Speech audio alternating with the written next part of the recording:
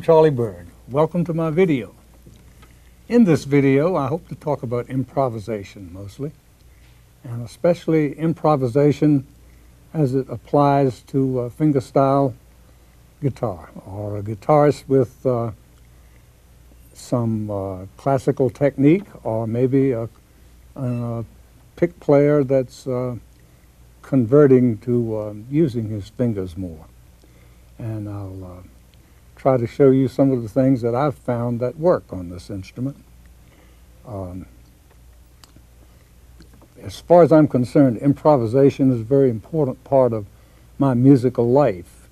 To me, I like the analogy that uh, improvising is conversation, and memorize, memorizing a piece, whether it's your piece or someone else, is like memorizing a poem and saying it in public. And both are wonderful ways to make music, and I don't think any musician should be without both of those ways. I certainly do recommend that any uh, guitarist learn to arrange music for the guitar. And this uh, will be a subject I will take up more in another video, I hope. Um, but in this one, we're going to talk mostly about improvisation. Some of the same things apply, however, so you will not be without some information that you can use in your arranging. Um, the piece that I've opened this with was uh, what I consider one of the very important uh, chord progressions that a guitarist should know. And that's like a, basically it was a little improvisation based on a two chord a five chord and a one chord in the key of G, which is to say an A minor seventh, a D seventh, and a G major. And the G major can be sixth or major seventh, and even sneak in a G sharp occasionally and make it an E seventh in the inversion to get back to the A minor. And then I had a bridge with it that's sort of like the uh, traditional rhythm bridge. In other words, it went to B7, E7, A7, and D7. And I showed you some different ways to go at it. I started with, uh, with an ad-lib way, and uh, then I went into tempo and explored a few different ideas for keeping a tempo as a solo instrumentalist. I think that uh, in order to uh, acquire technique to improvise, you need to uh, have a facility with uh, single note playing or scale playing, and that involves most efficiently, I think, learning to alternate the first and second as well as uh, the other combinations of your fingers. In other words, the first and second finger should not generally repeat when you're playing a scale. The right hand is not doing its best when it's doing that. It should be.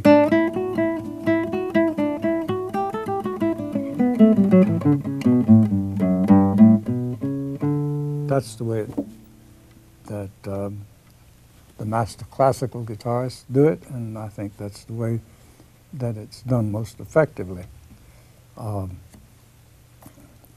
the other technique is the arpeggio, which is one string at a time across the strings.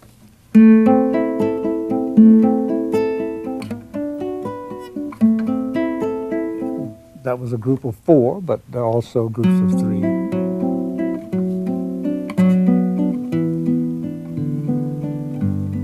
There are two pieces of literature that I think you could have in your library that would help you in, in these two endeavors.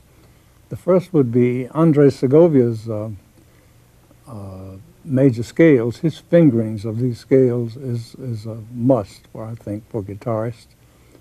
Uh, there are many ways to finger any scale, but Segovia's way uh, has a wonderful logical place for all the shifts, and he shows you the, the various uh, right-hand fingerings that you should use, and he goes through all 24 keys, that is major and minor in all 12 key signatures. Uh, for the arpeggios, I could recommend 120 short arpeggio studies by Mario Giuliani. And these are very basic things. Um, the little arpeggios that go like uh,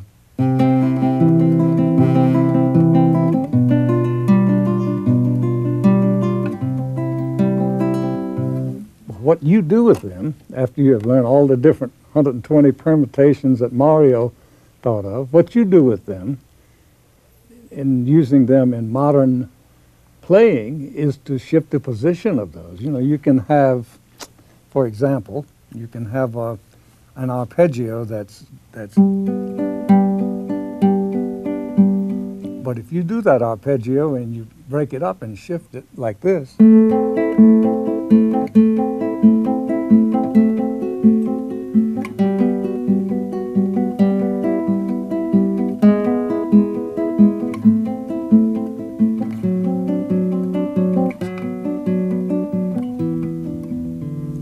Much more interesting, um, makes a much more interesting melodic pattern. And the arpeggio is what comes very natural to the guitar. If you just, that's an arpeggio. So the guitar plays arpeggios very easily in either direction. So I think it's something that a guitarist uh, should not neglect.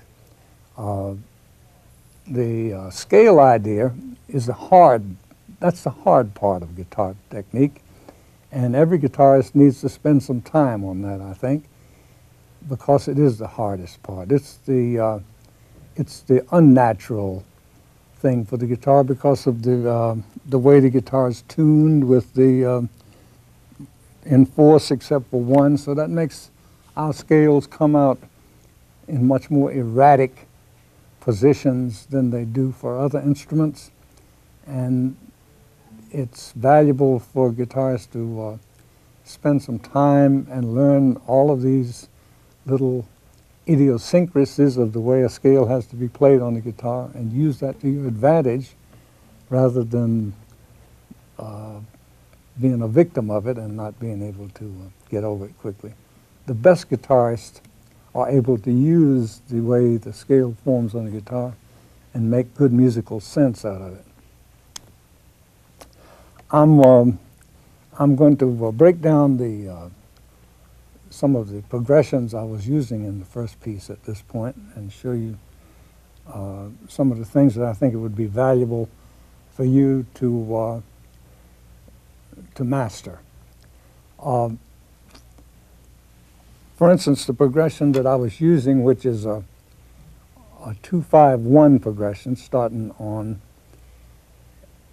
uh, A minor, going to D7th, and then to some form of G major, you should be able to play that anywhere on the guitar. And for instance, to start at one of the highest places you could do it, the A minor 7th would be like that, and then the D7, A minor seventh again, into G6,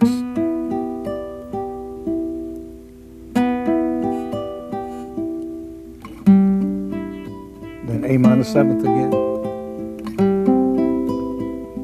D minor seventh, G minor seventh,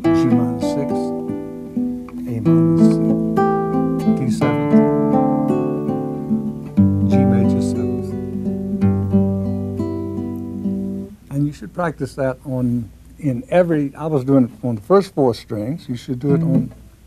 all combinations, and you should be able to play seventh chords. And when I say seventh chords, what I mean is a four-note chord, a four-note chord, and you can play. Mostly try to play them complete, but you can leave out notes, especially in an improvisation. You can. Harmony any harmony, whether it be the pattern we just played or some that we'll come to later, harmony is generally played in either four or three note patterns. A guitar can play up to six note chords, and we do that for special emphasis. But you don't think in terms of six-part harmony on the guitar.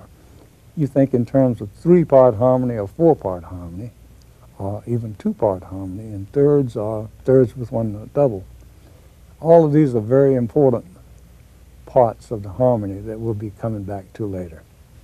Continuing with the idea of the um, two, seven, five, seven, one progression that we were in, I'd like to show you a little bit of how to treat the uh, final bar, a couple of options on how to get back in to the first part of the pattern. In other words, we have an A minor, have a D7 and we have a G. And now we're going back to the A minor, and there are a couple of ways to do that. Now, the first way, uh, one of the best ways, is to chromaticize this uh, progression a little bit and go A minor, D7, G, and then a G sharp in the bass.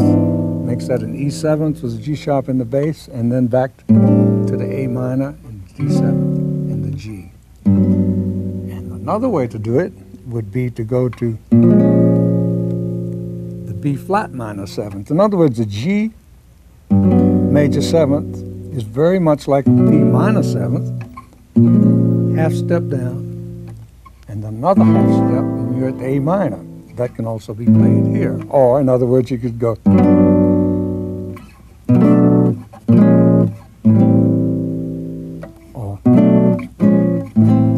Exactly the same.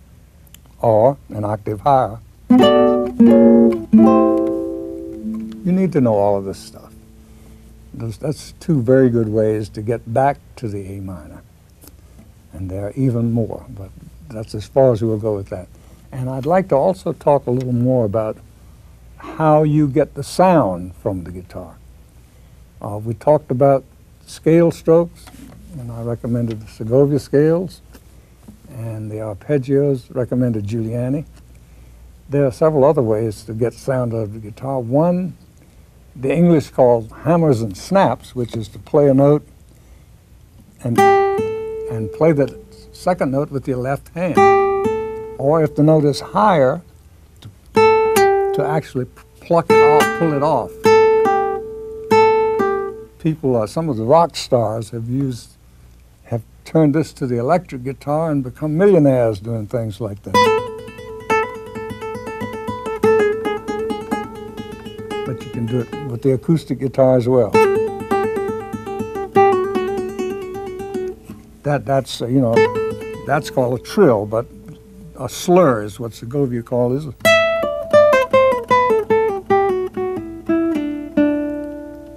Calls that. Uh, the simplest slur exercise is this one. You start and do a chromatic.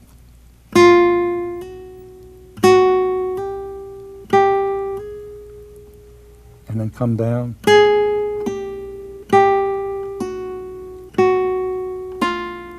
That's the simplest one. My favorite for the guitarist who is accomplished and has and knows how to play already, my favorite is to use a scale for that purpose. Let's t- let's think in terms of a D scale, a D chord here, a D scale, but we're starting on A. In other words, we go. You notice I didn't slur the, between the strings. On, with some, on some situation, uh, some circumstances, you can do that. But I'm, I'm plucking those that I have to.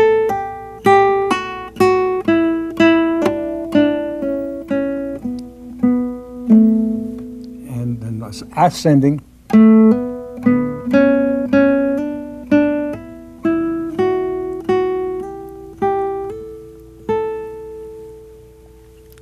up and down, and you should do that all over the place.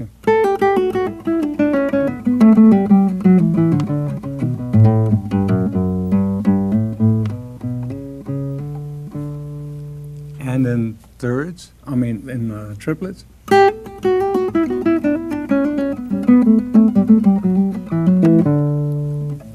There are a million little exercises that you can make up I love to practice, and I love to make up exercises to practice. That's one of the uh, joys of playing the guitar for me. I work out my problems, and I get my fingers to work better by inventing little exercises of my own. And any of these uh, suggestions that I make to you uh, should be understood as a starting point for you to invent your own exercise.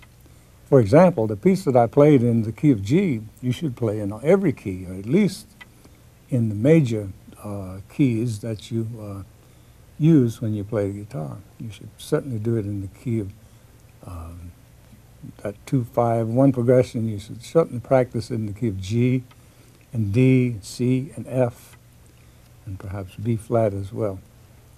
Uh, the other way of getting the sound from the guitar that I want to discuss a little bit before we go further is the rascato or the strum. Now I have uh, the most useful strum I have is something that I'd learned from my pick playing days, and it's not a it's not something that the uh, classical guitarist uses very often, and that is straight up and down index finger. I use sometimes others, but the index finger as a, as a pick, as I would a pick, and I use that. Um,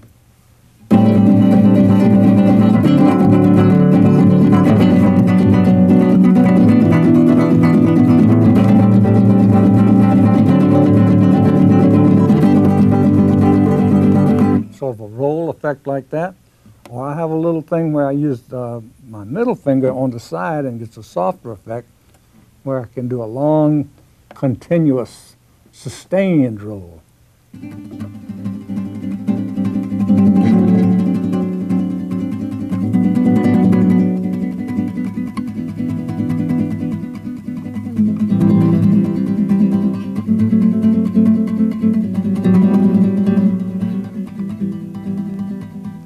very effective. Uh, not unlike the whole violin section does a tremolo with their bows, and it's particularly good for uh, accompanying other people. It sounds very good behind other other instruments soloing, and it does give the guitar to, the opportunity to, to get a very sustained effect that it doesn't ordinarily uh, isn't ordinarily able to do over long four, eight, 16 bar phrases. Other uses of this same strum, and this I recommend to pick players very much, is to use it in order to play accents. Um, in other words, you use your up and down stroke in order to put the accent in a particular place in the bar. Uh, I'm going to show you an, an illustration, a one bar thing first as it's found in the bossa nova, the one bar, with the accents on the downbeat and on the upbeat of two and on the fourth beat. And that's very easily accomplished this way because you that is really dividing the eight uh, parts that you get when you divide a bar into eighth notes into a three, a three, and a two. In other words, a three is down, down, and a two is down, up. So if you go, that's two threes and a two, which totals eight. And if that downbeat gives you that accent every time.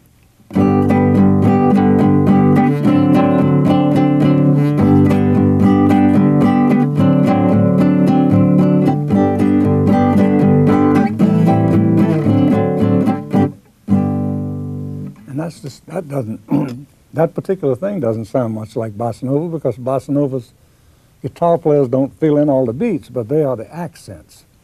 Let's do it one other way, and that is to take to put the two in front and the uh, and followed by the two threes. In other words.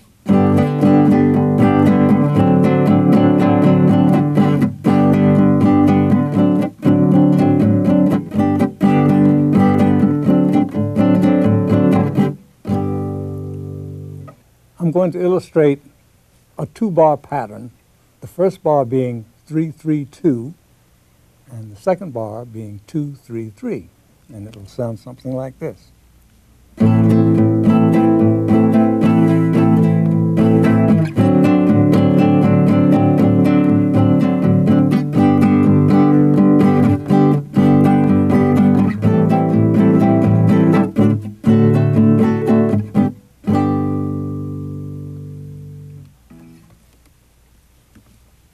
I think, uh, just as a sideline, uh, for the pick players, you should also practice that on a single note with the pick because it, it's really a good way to play a long uh, rhythmic phrase and you can invent your own, any combination uh, that you want to by simply knowing exactly how you're going to pick it and you have the feel for it and you get your accent straight. So many uh, uh, pick guitar players of my generation did up and down strokes religiously and they tried to learn how to play the, the strong accent with an upstroke and things like that. But this very old-fashioned way puts the rhythm straight. It, it, makes it just the way you want it without even thinking about it. Um, just a little more talk about the rascato. Uh, I've found in my uh, early days, I tried to uh, dabble in flamenco a little bit, and I learned a few of the uh, flamenco guitarist tricks, and I found that I can use some of these tricks in uh, in my playing, especially in, for a strong roll effect and things like that. I have this little thing that uh, Carlos Ramos showed me, uh, uh, four-stroke roll with the right hand in which you start with the index finger and then one, two, three, four, like this. One, two, three, four. And repeat that.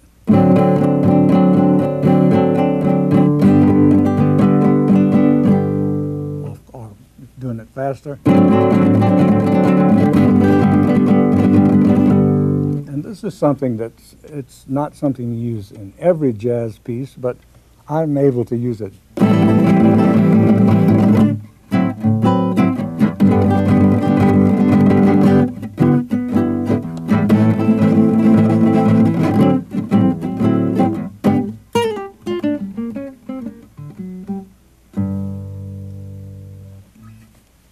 idea that I'm trying to get across for the Rascato is to learn this idea of, of the two being up and down and the three being down, up, down.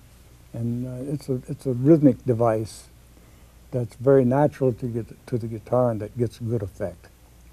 One other little illustration before I move on to something else is I'd like to show you how you can use that to do a 6-8 bar and a 3 quarter bar, which you run into in Latin American music a lot. In other words, if you consider that in 3 quarter time, you would be thinking 1 and 2 and 3 and for 6 beats, and then and in uh, 6-8 time, you would be thinking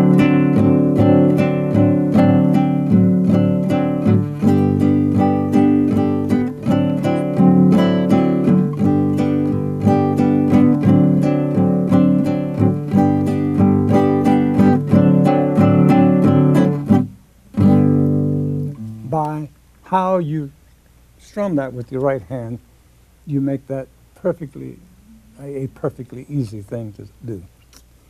I'm going to move on next, and I'm going to start a new uh, segment of this video by playing some blues in the key of A.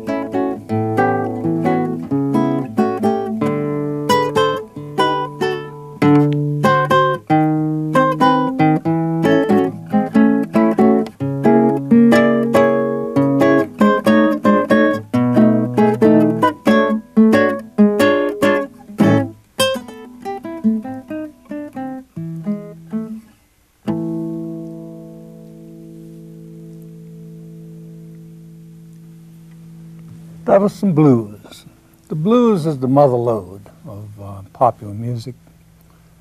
I used to say in this country, but it's worldwide. You hear um, the Japanese and the Irish and everybody is uh, using the blues as a foundation of music.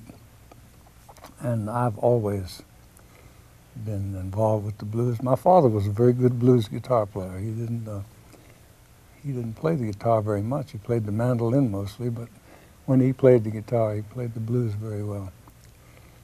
What I just tried to illustrate was really two different basic kinds of blues.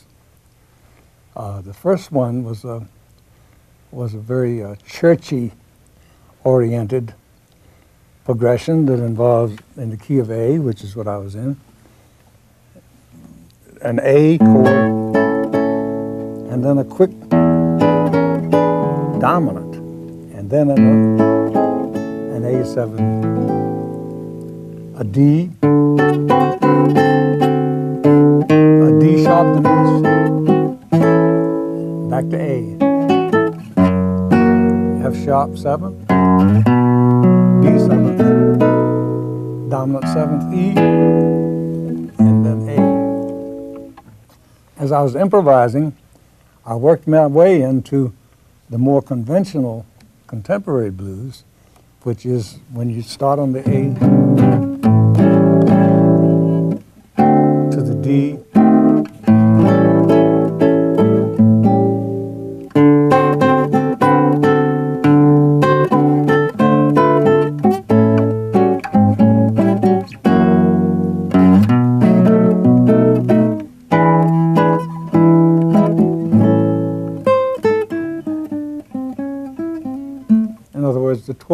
blues that everyone knows and loves so much.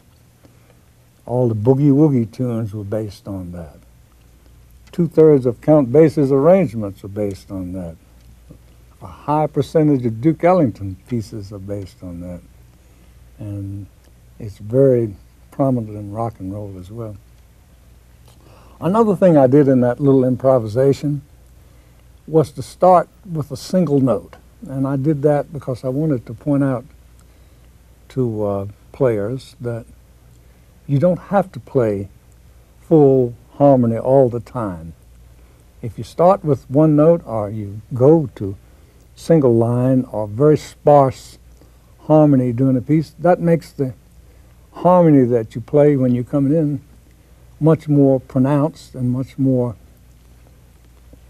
effective to the person that's hearing it. And that's what we are here to do, and that is, that is to make our music effective and make it uh, entertaining to the people that hear us and to ourselves who are playing it as well. I'm going to stick with the blues a little bit longer and uh, illustrate a couple of other things that that interest me about the guitar. Uh, I have been uh, the past few years been exploring the uh, harmony in the lower end of the guitar. It's something I neglected in my earlier playing, and I don't, uh, I didn't know as much as I need to, needed to know about that part of the guitar, so I've been doing more playing down low. So I'm going to show you uh, a little bit of how wonderful the, uh, these dark chords sound down here.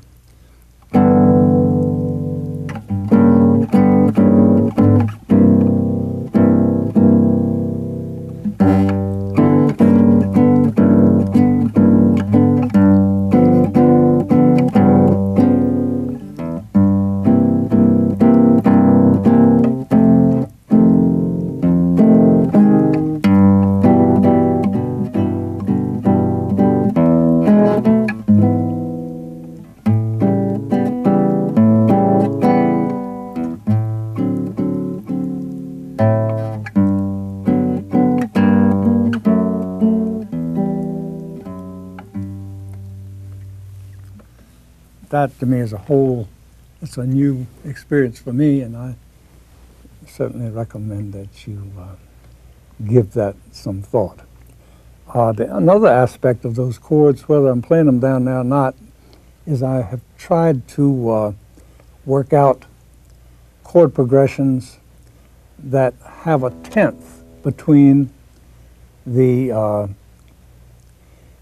root of the chord and the melody. In other words, this idea. If you'd like to harmonize a scale, for example, in the key of G that I was just in, using all seventh chords. Let's just do that just for fun.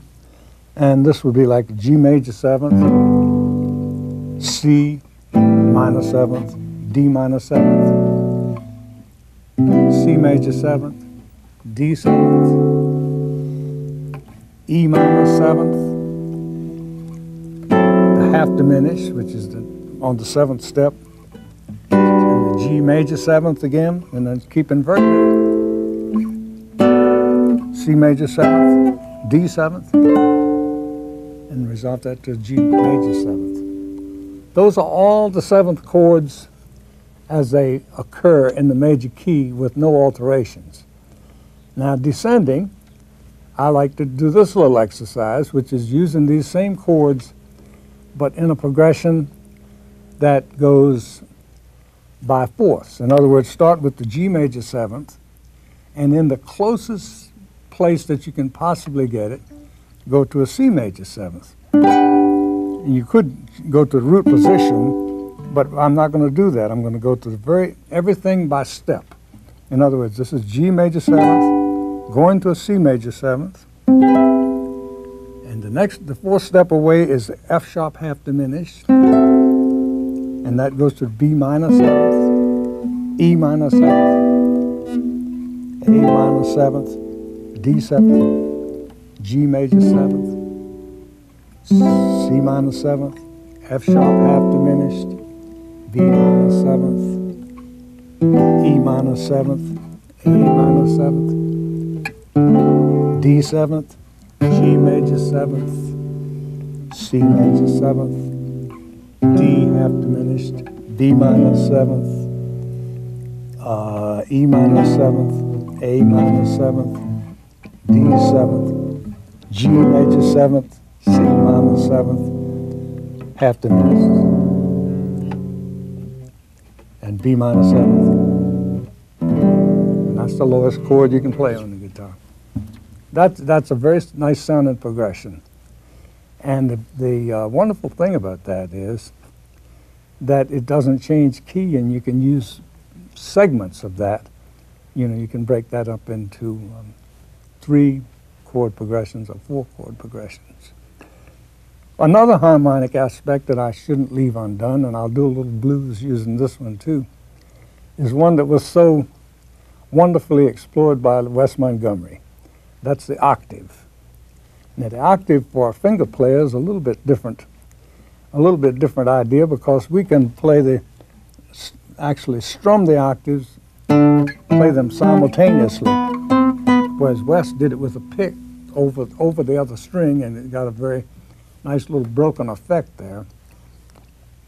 But the beauty of the octave is that if you're playing with other people, the octave doesn't spell out any harmony of its own.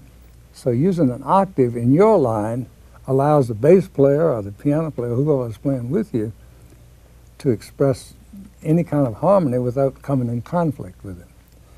Now, the uh, fingering of uh, of uh, of octaves on the uh, fingerstyle, you can use the octave that is two strings apart like this. Whereas with a pick, you, you need to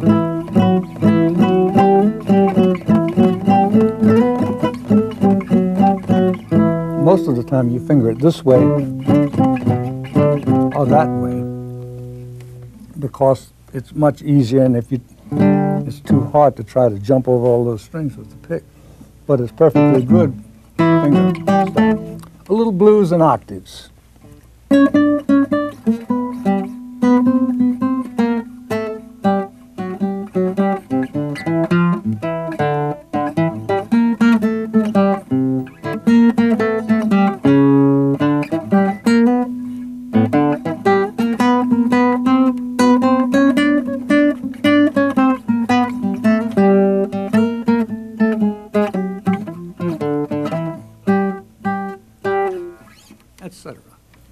To do that in all keys. One more uh, harmonic device that I want to talk about, and this is I'm going to talk about in connection with the bossa nova, which I'm going to illustrate in the next segment. This is uh, the idea of using three-part harmony against the pedal. Uh, in Latin music, you use this sort of vamp, uh, one chord or even two chord idea a lot of times for the improvisation. You hear them play the tune and then we'll go into uh, go into a one chord uh, idea and vamp and play that for 30 minutes if you feel like it. What I'd like to um, interest you in is uh, using the guitar in, in an open position so that you can have an open string to play the harmony against and an occasional change of bass note and using triads against that foundation. Now what this progression involves a G scale, but a, a D minor is, is predominantly a D minor chord with an occasional reference to a G seventh. And uh, you can use all of the triads in that scale. So you use D minor, G, A minor, B half diminished, C, D minor, E minor, F, and G. Now if you put that against the bass note,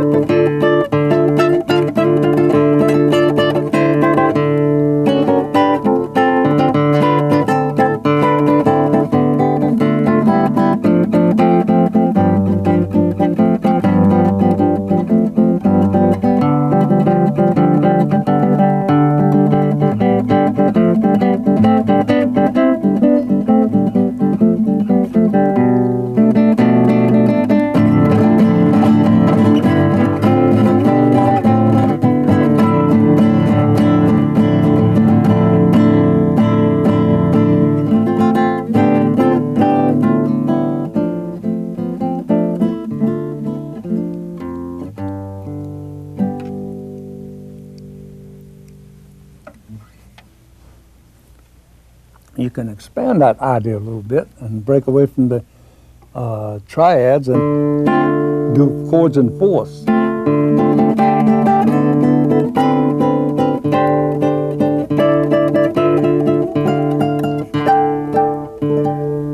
I think the trick is to stay within the scale. Avoid those chromatic notes when you're doing that kind of thing because that's like it becomes playing tennis without a net. You know, you need some sort of guidance, and I think, I think the thing that makes that all work is the fact that the, that the ear gets focused on that pedal tone and those chords that are going over it. Let's talk about the bossa nova a little bit. Everything I know about the bossa nova I learned from Laurindo Almeida and from listening to João Gilberto. I think João Gilberto comps behind bossa nova better than anybody. And he's not a virtuoso guitarist in many ways, but he does that impeccably. No one ever did it better than him. And his rhythm is basically very simple that he does with his right hand. He generally plays seventh chords. He doesn't always alternate the bass. Sometimes he plays the same bass note repeated. As a matter of fact, I would say more often than not he does. Uh, and the, the top, the fingers, the chord part, in addition to the bass, is following the same pattern that I talked about earlier. In other words, if you think of the rhythm of the 16 beats in a two-bar phrase, 16 eighth notes covering two bars, if you think of dividing those 16 beats into anything but four even ones, you know, because if you just played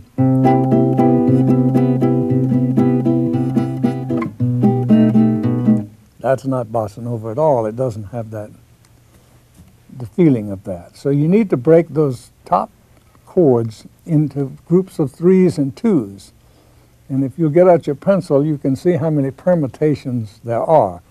There can be three, I mean, there can be two groups of three in each measure and one group of two. That's the only way that that can work out. So out of that two bars, you have two two beats figures and and four three beat figures, and you can rearrange them in any way you want to. Now, in an arrangement, you certainly would be dictated by the melody to some extent how you did that. But if you're just jamming and you're playing a bossa nova rhythm behind it, you have that, you have the uh, option of, of moving that around a little bit. Um, generally speaking, you alternate the, the two. In other words, the first bar is that would be uh, that way of doing it.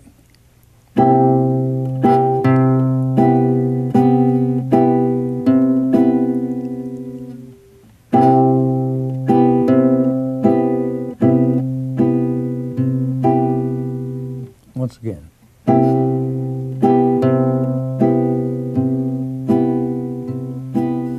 The thumb, the bass note is on the first beat and the third beat all the time. My friend Charles Gilberto doesn't even allow a bass player to go. He doesn't like that when for his very subtle accompaniments. He wants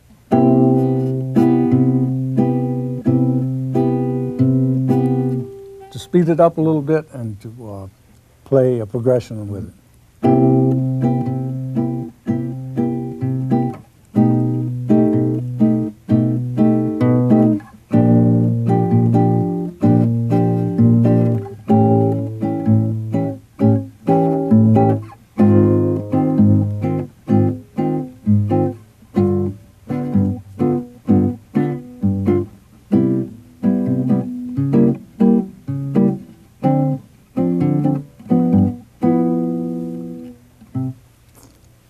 About what it is.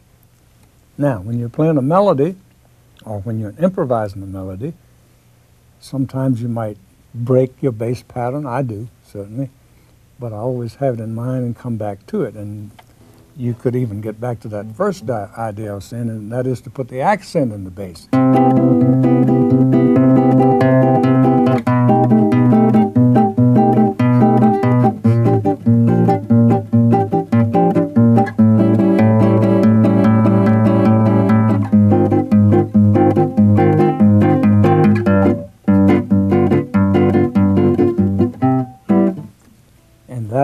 Combination of rest is pretty much how you comp to the bossa nova. Um, you can also do the strum as I was doing before.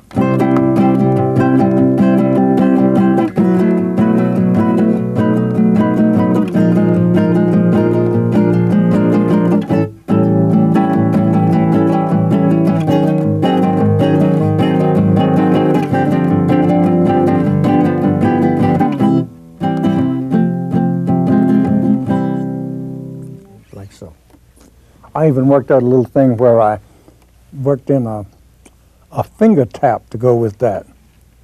Let me see if I can think of that.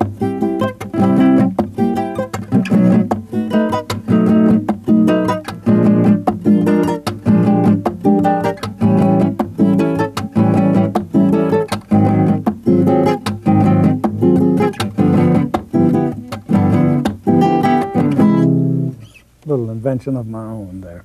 I never heard Gilberto do that.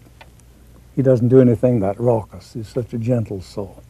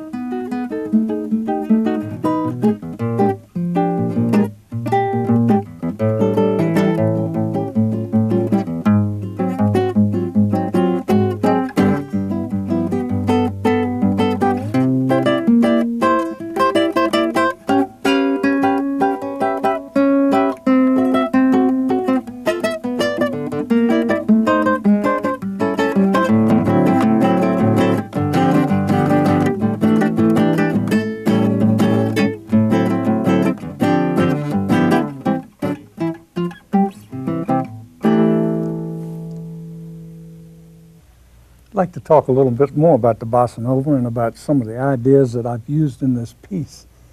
Um, I'm sure that uh, you guitarists noticed that uh, this piece is based on a chromatic uh, chord progression in, in, the key of C, and it started on a C, and then went to a B, more or less a B seventh. They could all be sevenths. This in this progression, they could all be sevenths that way, and it starts on the tonic and goes down to the the donic, uh, the dominant, the fifth. But um, it's also interesting to use uh, alternate major seventh and then seventh with the suspension, if you like.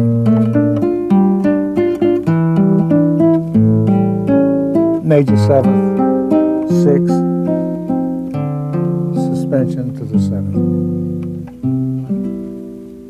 that I think that makes it a little more sophisticated, and uh, and it makes it a little more musical than just a straight Hawaiian guitar sort of progression that comes down in half steps. And the other thing that I tried to do in that piece was to have the melody that I played in the beginning there be an ascending melody so far as possible. And then I started here. And went up to the B there, and then, in other words, the chord's coming down, the melody's going up. That's an idea that in, in composition or in improvising uh, sort of keeps you out of trouble. As long as you, as long as you can manage that, you, uh, the harmony usually sounds good, even if you run into conflicting uh, notes. If they're going in opposite directions, they usually sound perfectly fine. Uh, the other idea for making a progression such as this sound good is to give a common tone. And uh, the, the common tone that works best, I think, in this, um, this particular progression is the uh, dominant note, the G. In other words, you could play this whole progression and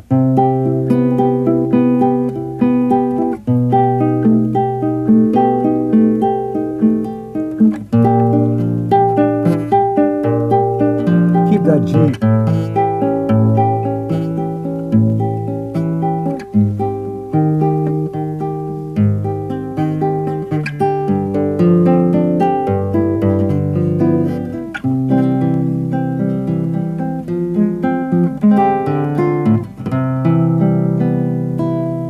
I'm sure you've heard songs that use that idea a lot, but it certainly is a good idea to use in improvisation. And the sixth step is another one that works very well.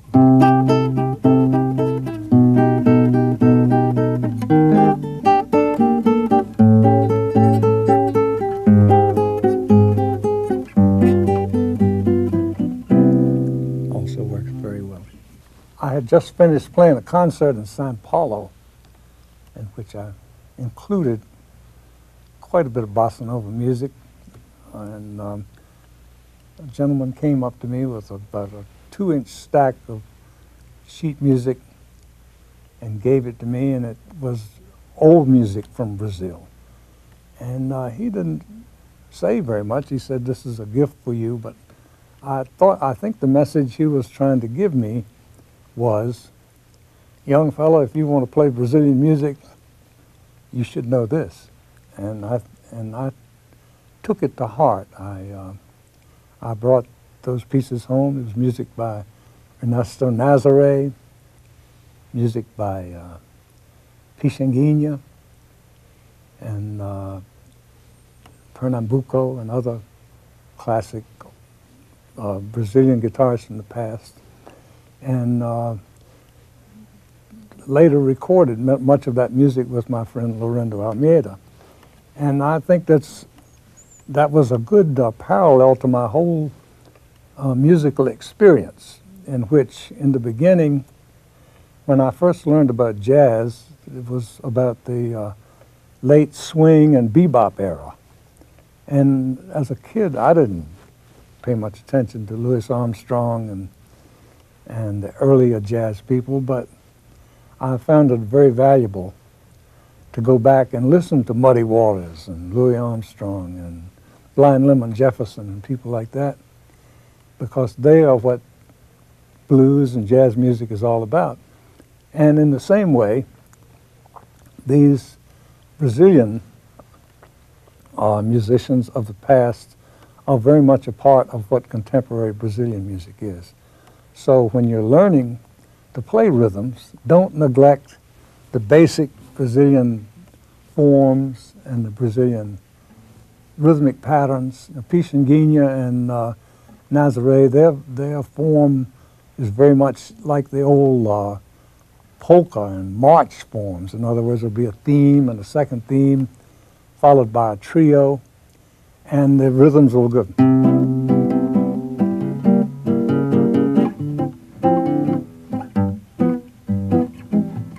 Pixinguinha got had very inventive and complicated bass lines. I'm not going to try to get involved in a lot of that. But go back and learn the simplest Latin forms as well as the uh, as well as the complex new bossa nova hip ones. Next, I'd like to talk a little bit about playing harmonics on the guitar. The, the natural harmonics are, are at the octave. You also have a very nice strong one at the seventh fret, which gives you the fifth away, and you have the second octave. A little, a little bit from those notes at the ninth fret and the fourth fret, which are the same notes again. What's happening when you're playing octaves, I don't know if guitarists have all thought about it, but you, you are dividing the string into exactly equal vibrating parts. In other words, this harmonic divides that one into an octave, and this divides it into thirds, and that divides it into fourths. You can incorporate these kind of things in your playing. I've used uh, harmonics very effectively, mixing them with full chords, like, you know, you start on, you call that a G chord.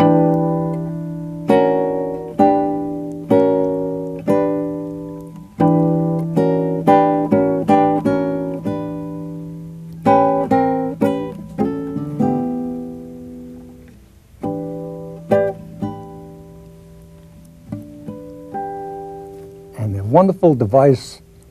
Harmonic is a wonderful device for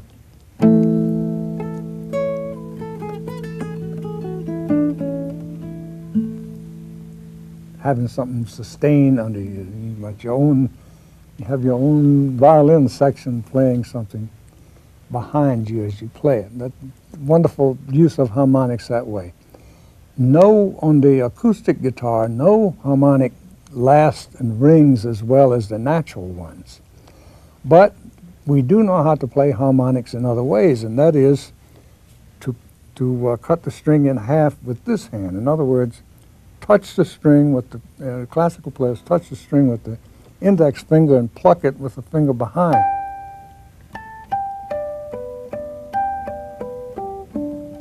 That allows you to play a harmonic on any note melodically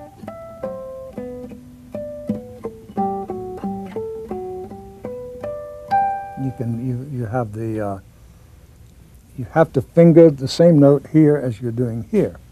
Um, and once you do that, you can do all kinds of things with it. You can even bend the notes as in the blues.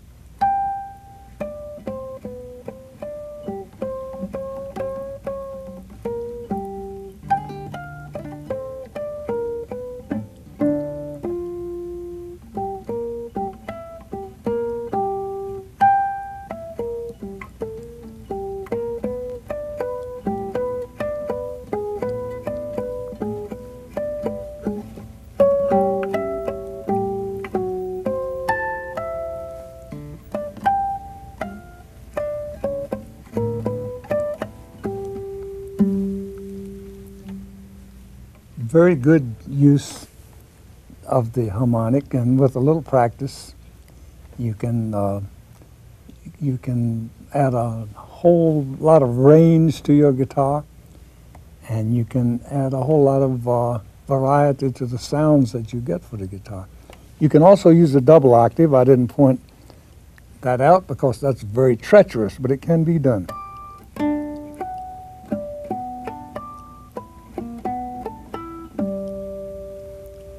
By some of those funny notes how treacherous it is. The other possibility, uh, uh, one of the other possibilities, is to combine uh, the natural notes with the harmonic notes. And uh, this is something that Segovia did very well in some of his transcriptions.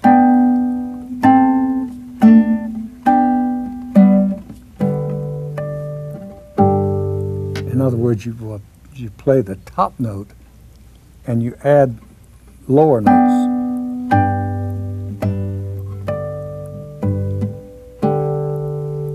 And you make it make the chord fuller that way. That's that's a possibility. You can also you can also combine uh, harmonics and and regular notes in a melodic fashion. In other words, you could play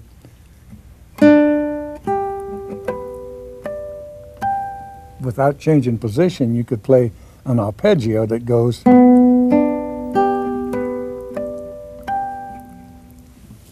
like that. It, harmonics is not something that's very difficult to do on the guitar, but it does require a little practice to uh, get them headed in the right direction and to uh, get your confidence built up so that you can use them, especially in improvising, because you have to use so many parts of your body. You have to use your eyes and both hands in order to make just one harmonic note. I'd like to talk a little bit about parallel harmony on the guitar, which is a natural and easy thing to do and can be very effective, used sparingly, I think.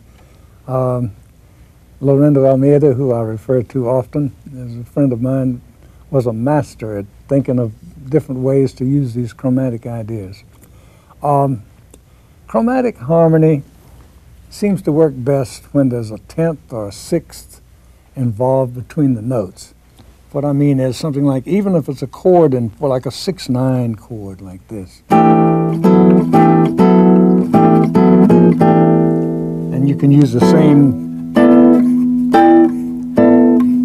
the same, exact same fingering, so you can do little tricks like.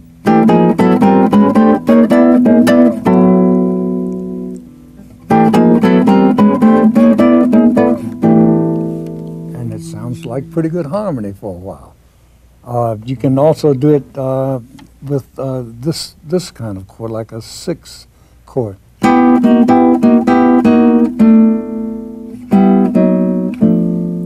Hawaiian guitar.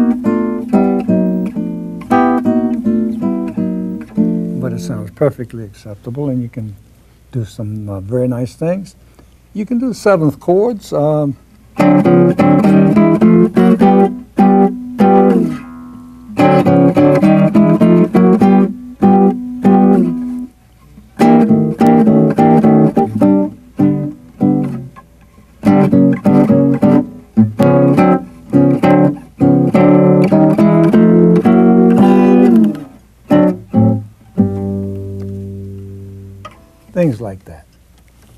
can, I'm sure, uh, think of some good ideas like that for yourself.